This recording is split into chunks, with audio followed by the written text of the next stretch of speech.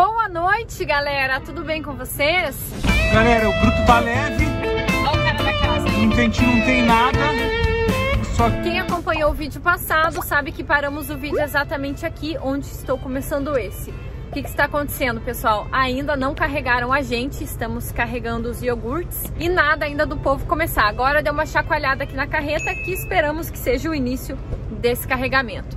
Vou mostrar para vocês aqui os ambientes aqui da nossa casa dentro do caminhão, porque, pessoal, é muito grande aqui dentro, né? Então vamos lá. Vamos apresentar os cômodos. Freedom em seu quarto, fazendo... No seu habitat natural. No seu habitat natural.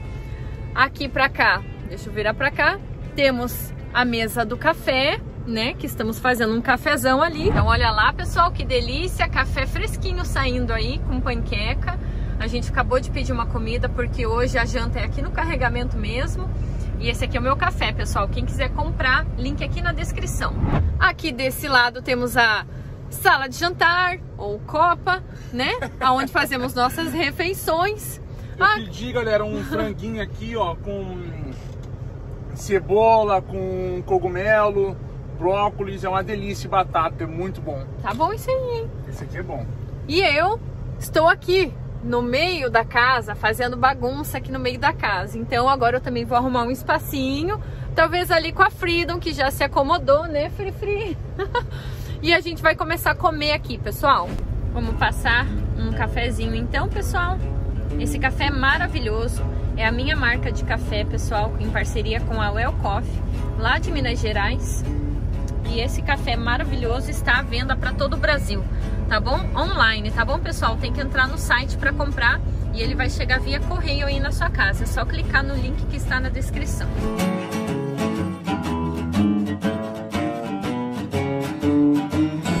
Amor, amor! Cromou já era! Cheers, tchim tchim! Ai, que maravilha, cafezinho. E esse vídeo aí? A galera já curtiu, já compartilhou esse vídeo aí ou ainda não que está assistindo? Galera, já tem 1.900 likes nas primeiras 4 horas de vídeo. Então, ó, corre lá pro canal para ver o vídeo passado. A gente tá aqui assistindo o vídeo também. Bom, gente, finalmente eles carregaram a gente. Deu tempo até da gente tomar nosso café aqui sossegado. O Felipe tá fechando as portas e agora a gente vai pegar a estrada. São exatamente 9 horas da noite. Vamos sair daqui agora, temos 400 milhas para rodar. São aí 6 horas e pouco pela frente. E vamos lá!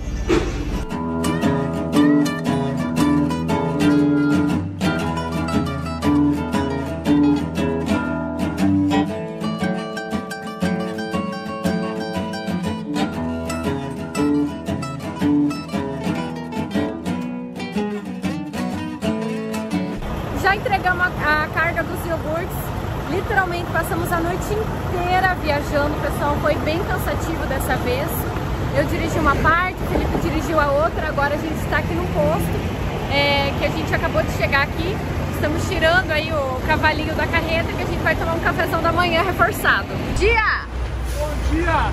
Banho tomado, e cabelo aí? penteado. Agora sim, né? Pronto pra conectar aqui para poder comer alguma coisa, que nós não tomamos café da manhã hoje ainda. Já são meio-dia, 5 para meio-dia. É isso aí. E a fome fala mais alto. Vamos lá.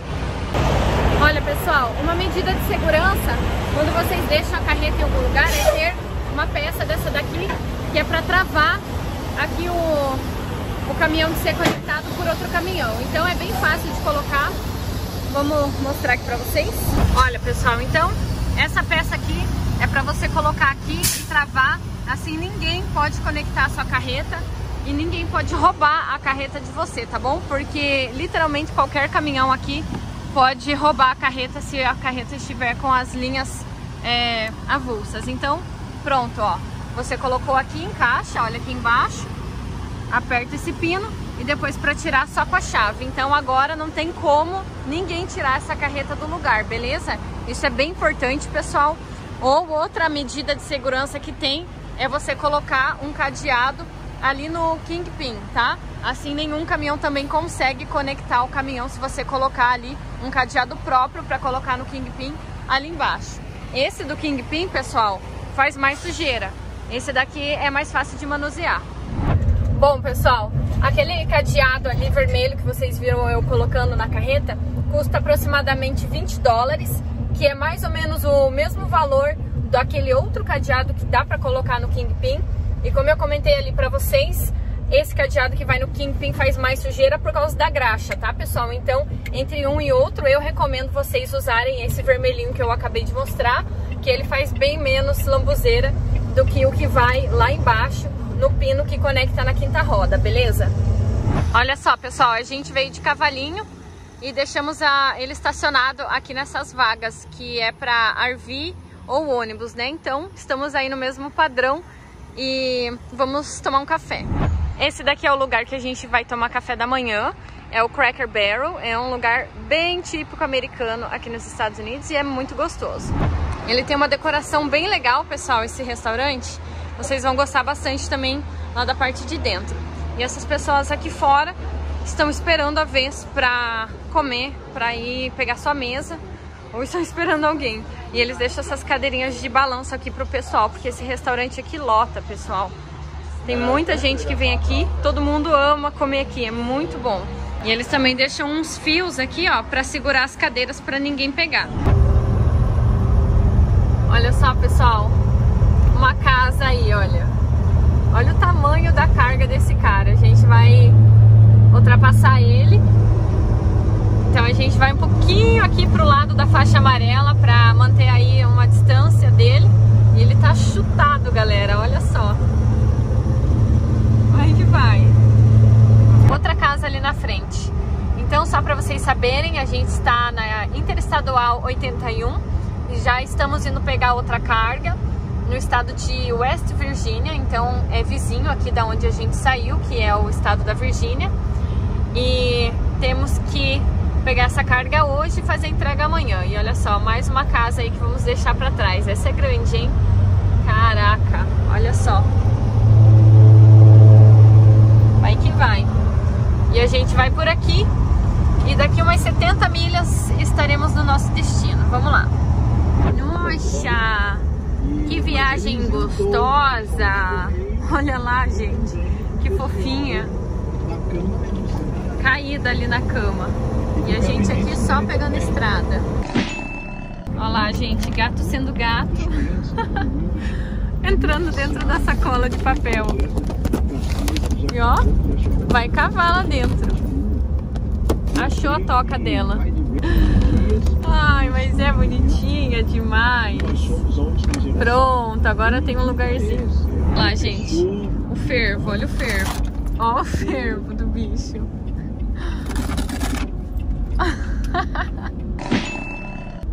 e aí, Freedom? aí, galera, viemos aqui no posto pra pesar o caminhão. Agora a gente vai revezar um pouquinho. O Felipe estava dirigindo, agora eu vou dirigir daqui para frente até chegar lá no, no nosso carregamento. E agora a gente vai ver quanto que tá pesando aí o brutão. Galera, o bruto tá leve. Olha o cara da casa aí. Não tem, não tem nada.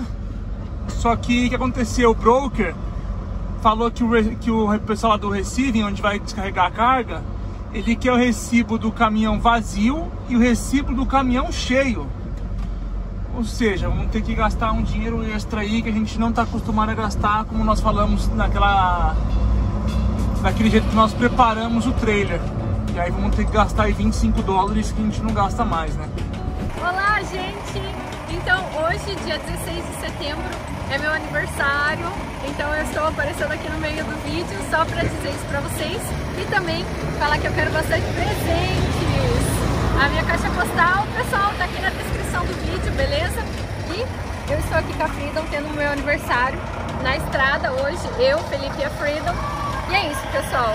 Feliz aniversário pra mim, um grande beijo pra vocês, continuem assistindo o vídeo. Bom, e no vídeo de amanhã vai ter a surpresa que o Felipe fez pra mim hoje no dia do meu aniversário. Mas esse vídeo vai pro ar só amanhã, então fiquem ligados aí no canal pra vocês verem a loucura. Então vamos continuar a viagem aí, pessoal. A gente continua aqui na Interestadual 81. Agora a gente acabou de entrar no estado de West Virginia, mais precisamente a gente está passando agora na cidade de Bunker Hill, aqui em West Virginia, que em português do Oeste. Então temos mais 6 milhas até lá, já estamos bem pertinho aí do local que a gente vai fazer o carregamento. Nossa carreta vazia está pesando 35.960 libras, beleza? Então a gente pesou o caminhão vazio e depois vai fazer mais uma pesagem dele carregado. Então esse é o, o peso aí da nossa carreta, cavalinho com mais a carreta que é o reefer, né pessoal? Que ela é um pouquinho mais pesada que a carreta do dry van, porque ela tem aquele motor ali e mais o tanque de diesel. Então todo aí, é, caminhão mais a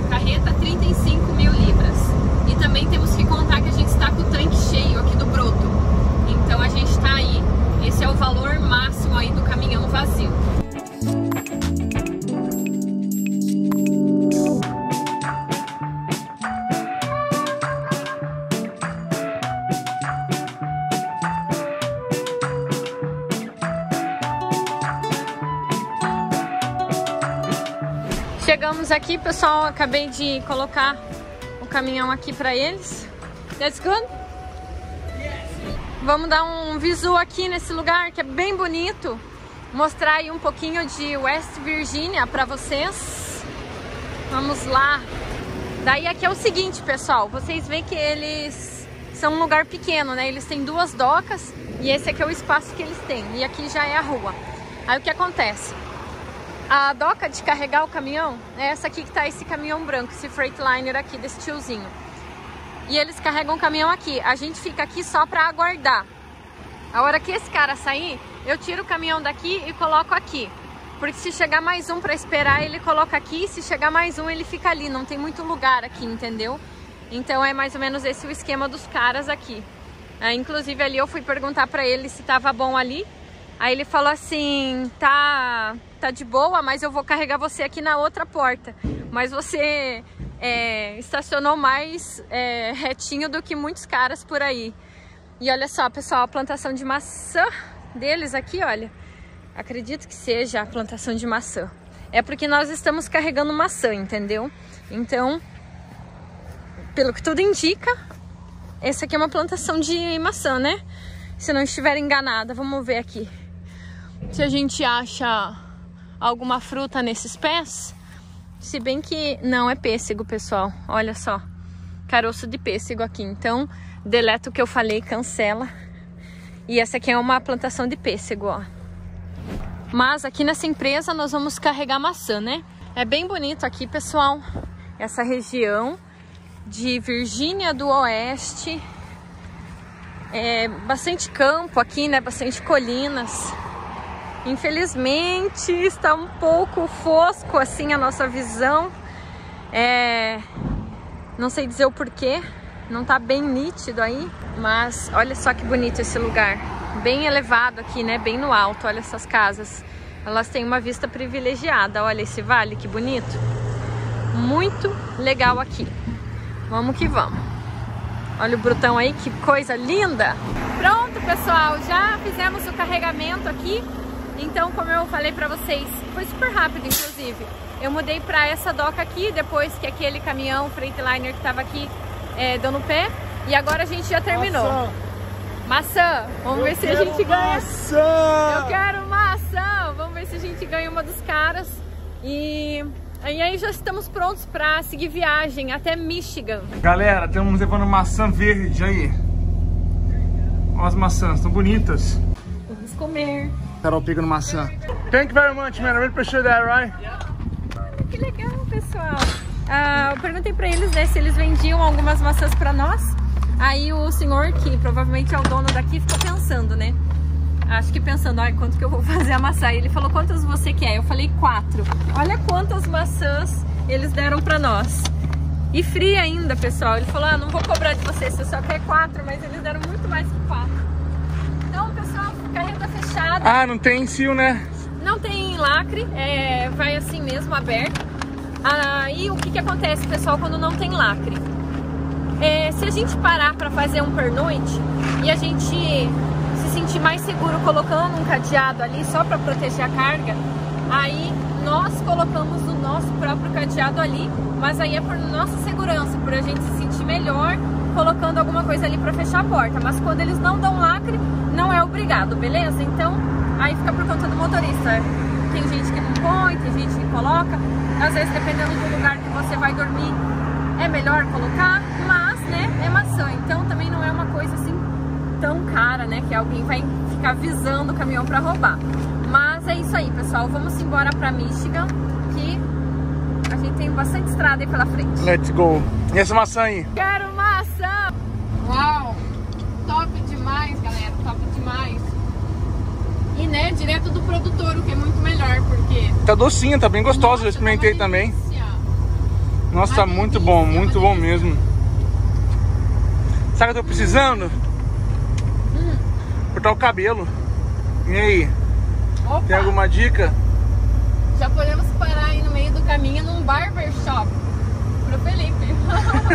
não pra cortar não pra, barba, barba. barba jamais, hein? Não dedica aí, não fale nada, hein, galera? É só pro cabelo. e não vem falar se eu for pro Brasil e tiver com a barba cortada, alguém vai me dar presente não, eu não aceito, hein? é isso aí, pessoal. Não vamos cortar a barba do Felipe. Sou contra. Olha só, galera, que top essa estrada.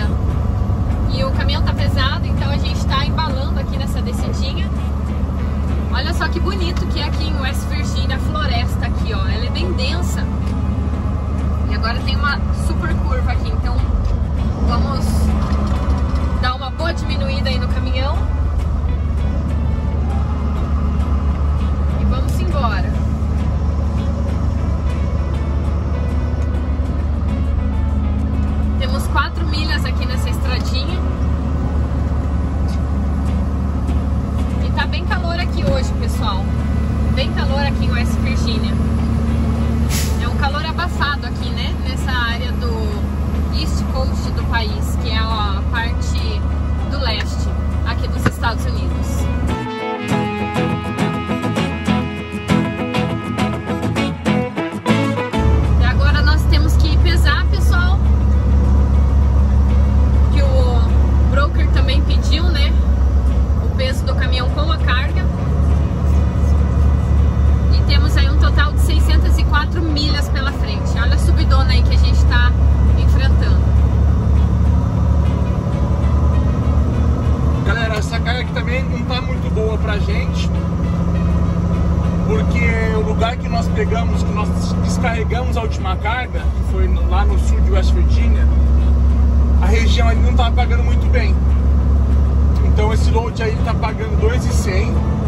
Para 706 milhas, são menos de 3 dólares por milha. Só que o que acontece? Por essa carga aí, por esse peso que o broker quer, para poder pesar com ele vazio, ele cheio, o que, que ele fez? Ele deu um bônus pra gente extra de 100 dólares para poder pesar o caminhão. E aí ele deu um bônus extra aí de 100 dólares que nós vamos gastar 25 e vamos ficar com 75 dólares a mais, né? Então valeu a pena. Ótimo, Esse trabalhinho aí paga pelo menos o nosso almoço e a nossa janta. É verdade. Pela essa, por essa função que a gente tem que fazer indo pesar o caminhão, né? Super válido. Olha quantas chácaras aqui, pessoal. É uma região muito linda, assim, muito bonita mesmo, como eu mostrei ali pra vocês no carregamento, as colinas, né? O único problema aqui é que, nossa, é um frio, né, pessoal? No inverno isso daqui gela, gela pra caramba. Imagine uma ruazinha dessa no inverno pesado. Pra mim, aqui é um dos lugares mais bonitos dos Estados Unidos, né? Porque aqui tem uma mata muito, muito linda. Uma mata linda demais, galera. Uma mata encantadora. O único problema aqui pra quem trabalha de caminhão é quando tá com o caminhão cheio. Ah, e vai devagar, Carol, por favor, amor. Galera, tá vendo aquilo ali, ó, na árvore? São teias de aranha. Nossa, enormes. Se eu encontrar mais algumas, vou filmar pra vocês verem. Nossa, gente, tô adorando, adorando essa rodovia. Olha que bonito. Que top. Parece que a gente tá, tipo, num... Parece que eu tô arzando de caminhão. num sonho. Nossa, muito lindo, cara. Muito verde, ó. A estradinha perfeitinha. Nosso bruto vai chamar agora Tarzan. batendo, as frestas do sol entrando na mata, muito top, muito lindo. E sem contar que também tem umas montanhas, uns vales, galera, muito bonito, hein? Uma galera deve ter uma casa no topo da montanha, e aí eles devem mandar cortar a árvore assim, aí fica aquela vista maravilhosa na frente deles. É. Ó, pessoal, só para quem tem dúvida aí, agora quem tá dirigindo sou eu. E vamos aí andar um bom trecho hoje e terminar o restante da viagem amanhã. Olha, gente, que bonita essa vista aqui agora. O sol tá bem aqui de frente pra nós, mas tá bem legal, né? O contraste da fazenda com as montanhas lá atrás e o sol se pondo. Nossa, é muito legal esse horário do dia e o amanhecer, né? Cidadezinha pequena, né? Olha as casinhas aí. Aqui é downtown da cidade, galera, aqui é o centro. aqui é o centrão da cidade. Galera, eu tô ocupando a rua inteira porque aqui realmente é muito apertado, as ruas são muito pequenininhas. Damos uma buzinadinha, abrimos o, as janelas, tanto para olhar quanto para escutar e vamos lá, fazer aqui nossa peripécia. Vou filmar pra vocês aqui, ó. Ó o caminhão lá, a casa bem ali, ó. Ó lá.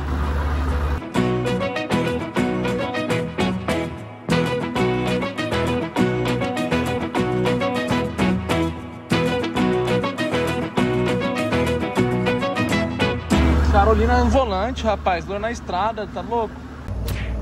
Já nasci pronta.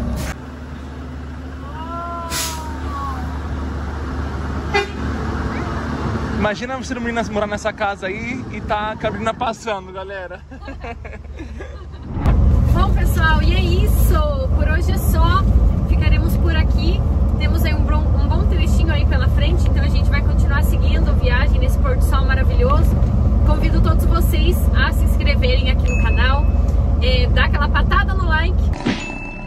E também quero fazer um outro convite para vocês, pessoal. Se inscrevam no nosso canal secundário, que é o meu canal e do Felipe, é o Nature Survival. Eu vou deixar o link aqui na descrição. E também quero agradecer quem já se inscreveu, beleza, pessoal? Obrigadão mesmo, todo mundo que já está fazendo parte, tanto dessa, desse canal quanto do outro. E é isso aí, pessoal. Eu fico por aqui hoje. Nós ficamos por aqui hoje. Nós ficamos por aqui hoje. Eu aguardo vocês no próximo vídeo e a gente se fala, beleza, pessoal? Um beijão pra vocês. É isso aí, galera. Pra todo mundo, bom dia, boa tarde, uma boa noite. É isso aí. Até mais pra todo mundo. Isso aí, pessoal.